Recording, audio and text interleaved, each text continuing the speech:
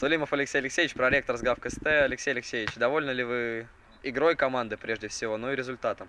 Ну, в большей степени, конечно, результатом, потому что э, ответственность довольно высокая, и первый тайм не совсем получился у нашей команды. Вот, я считаю, что мы по игре должны, конечно, были в первом тайме еще забивать и решать этот вопрос. Но, тем не менее, э, самоотдача, никаких вопросов нет, и поэтому три очка, которые мы сегодня набрали, это еще один шаг к призовой тройке на этом турнире. Какие задачи руководство ставило перед командой на этот турнир?